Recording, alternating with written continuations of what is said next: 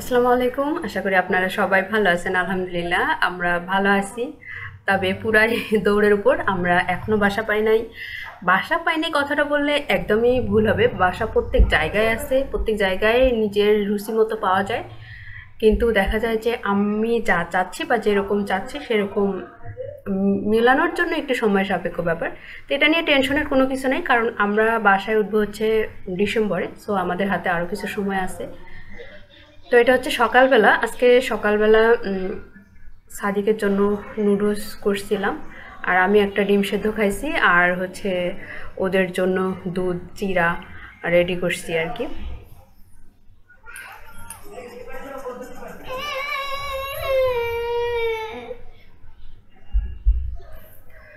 সকালবেলা নাস্তা করানোর পর মানে প্রায় দেখা যায় যে আমরা দুপুরে খাওয়া দাওয়া করার পর বের হই। বেশিরভাগ সময় ওই একাই যায় আর মাঝে মাঝে কিছু বাসা অনেক সুন্দর হলে বা আর আমিও যাই। তবে এইট্টি পার্সেন্ট সময় ওর সাথে থাকা হয়। একটা কথা বলি যে হয়তো কিছু কিছু কমেন্টস আছে। আমি, আপনারা যারা একজন বলে আরেকজনের কথা শুনে ইন্সপায়ার হতে পারেন বা সত্য মনে হতে পারে।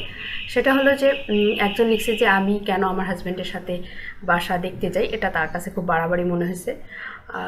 আসলে যে কোনো জিনিস আপনি যে দৃষ্টিতে দেখবেন, প্রত্যেকটা মানুষের দৃষ্টিভঙ্গি আলাদা, প্রত্যেকটা মানুষের চাওয়া পাওয়া, চিন্তা, চেতনা আলাদা।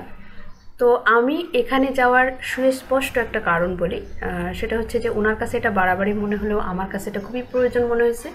কারণ একটা নতুন বাসায় গিয়ে সে যে দেখবে, সে তার চোখ দিয়ে সে যা দেখবে, আমার চোখের দেখা দেখাটা সম্পূর্ণ ভিন্ন হবে।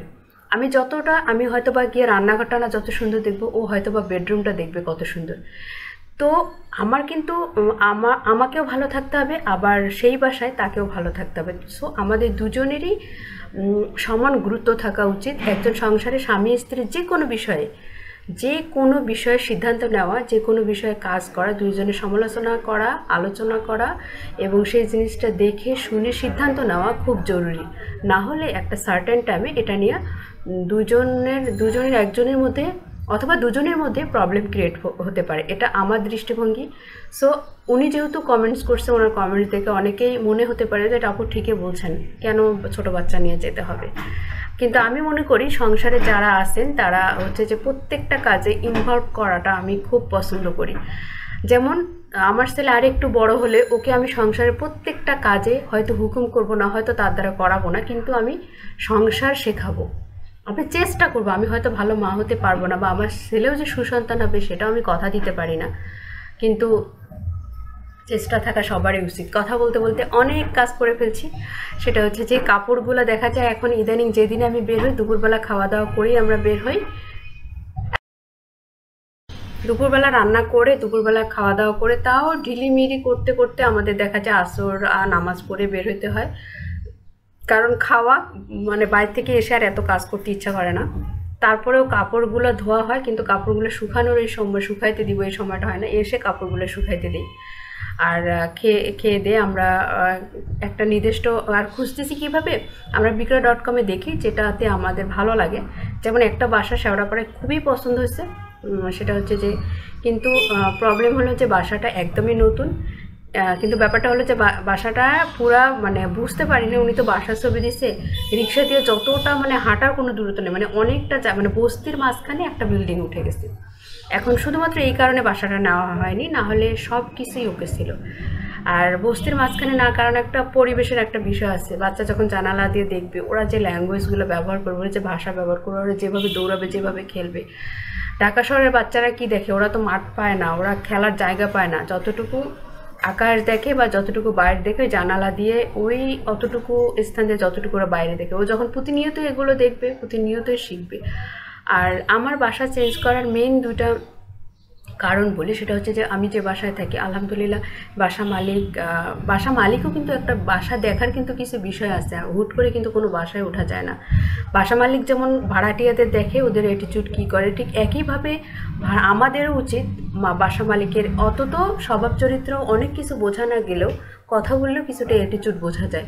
আমি এটা চিন্তা করি, আমি যতটা না বাসাটা একটু ভালো লাগছে কিন্তু মালিকের সাথেও কথা বলছি যে, কথা বলে দেখি উনি একটু হলেও বোঝা যায়। কারণ একটা লোকের বাসার মালিকের সাথে তার মানে আমি বাসায় থাকব। সো তার এটিচিউড বা তার সম্পর্কে সামান্য ভালো লাগে অবশ্যই কাজ করতে হবে।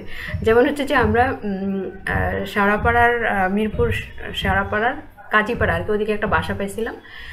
তো বাসাটা সামান্য পুরাতন, কিন্তু হচ্ছে মোটামুটি ফরওয়ার্ড জায়গায় তো আমি যখন বাসাটা দেখতে গেছিলাম, সেই লোক বাসার সাম ফ্রন্ট সেটটা এত নোংরা করে রাখছে। আমি কি বলব, এ তো নোংরা মানে পা মানে কতদিন থেকে পরিষ্কার করে না। পা ফেটে ফেটে আসছে ভদ্রলোকের। আমি কই একটা ঢাকা শহরে বাসার মালিকের, এবং সে মালিক। আমি বলতেছি যে কয়েকটা টাকার জন্য সে একটা বুয়া রাখে নাই আর নিজে পয় পরিষ্কার থাকে না। তার বাসায় এই এই কারণে আমি, আপনারা হয়তো মনে, যারা শুনবেন, এটাও অনেকের কাছে বাড়াবাড়ি মনে হতে পারে। বাট ট্রাস্ট মি এটা সবসময় আপনারা যদি বাসা চেঞ্জ করেন, অবশ্যই বাসার বিল্ডিংয়ের আশেপাশে প্রতিবেশীদের সম্পর্কে সব কিছু জানা না গেলে পরিবেশ দেখলে বোঝা যায় যে এই ফ্ল্যাটে কী ধরনের মানুষ থাকতে পারে। দ্বিতীয় কথা হচ্ছে যে ফ্ল্যাটের মালিকের সাথে অবশ্যই পাঁচ মিনিট কথা বলা উচিত। তার তার সম্পর্কে জানা উচিত। একটু হাসি মুখে কথা বললেই বোঝা যায় যে আমি কার কার সাথে থাকতে যাচ্ছি। আর যে বাসাটা এখনই দেখাইলাম সেই বাসাটা সুন্দর ছিল, সেটা কিন্তু নিচতলা মানে এরকম কোনো না কোনো প্রবলেম যেটা পছন্দ একটা না একটা প্রবলেম থাকে। বাসাটা নিচতলায় ছিল। একেবারে বাসাটা মানে আমাকে সারা দিন লাইট জ্বালা রাখতে হবে। একদম চব্বিশ ঘণ্টা যদি লাইট জ্বালানো থাকে, এটা কিন্তু শরীরের জন্য ক্ষতিকর। শুধু এই কারণে বাসাটা নেওয়া হয়নি। কারণ আমার বাসা চেঞ্জ করার প্রধান দুইটা প্রায়োরিটি আমার ছেলে। আর দ্বিতীয় প্রায়োরিটি হচ্ছে আমরা বিজনেসটা বিজনেসের জন্য আমরা জায়গা করতে পারতেছি না। আর সাদিক যে পরিবেশে আমি আছি, ওটাই শিখতেছে। আমি মেন এক নাম্বার প্রায়োরিটি বলি, সেটা হচ্ছে যে আমার সন্তান। কারণ বাচ্চারা যা দেখে, তাই কিন্তু শেখে। ওদেরকে উপদেশ দিয়ে কখনোই কোনো কিছু শেখানো যায় না।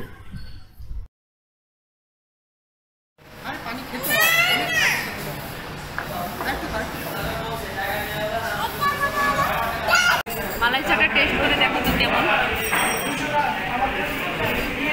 সর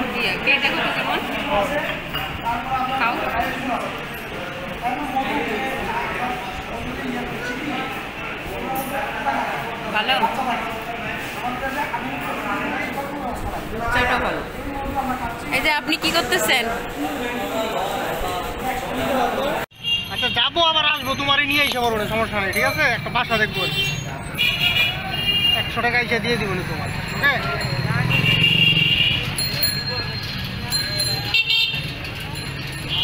আকবর ভাই হ্যাঁ আকবর ভাই। আরও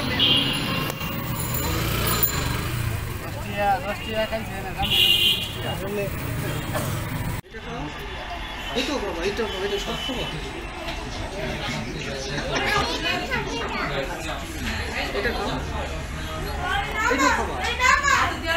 এটা খাও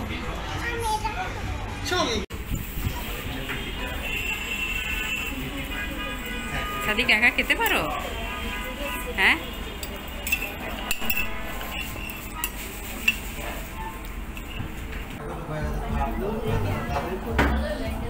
খাও তুমি একাই।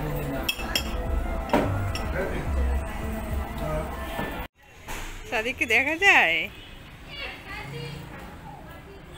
হায় রে এই কেয়ারটেকার এভাবে টাকা দিয়ে রেখে কোনো রেসপন্সিবিলিটি নাই।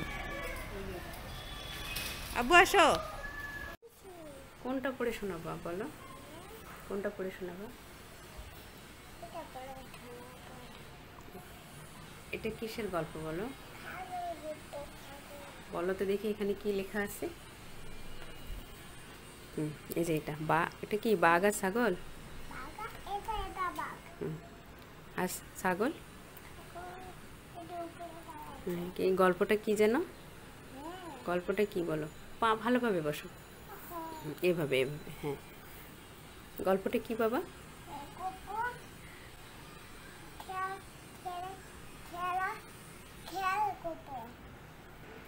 গল্পটা শোনাও তো আব্বা। এই গল্পটা আমাকে শোনাও। কোনটা শোনাবা তাহলে?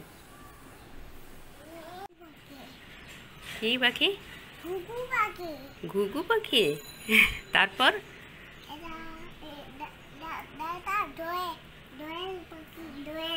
দোয়েল তারপর? মসজিদ খুঁজতে বলি নি তো তোমাকে? আচ্ছা আলিফবা বের করো। পাইছো? পড়ো তো দেখি আব্বু তুমি কয়টা পারো? জোরে বলো। এভাবে পড়ে, শুয়ে? উঠে বসো। আমাকে দেখাও। আমাকে দেখাও